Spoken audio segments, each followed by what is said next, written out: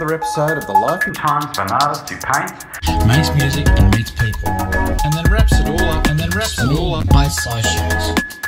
For your entertainment, please don't ever be lonely, and don't feel unloved. Join me on Patreon. This is the Steven Dix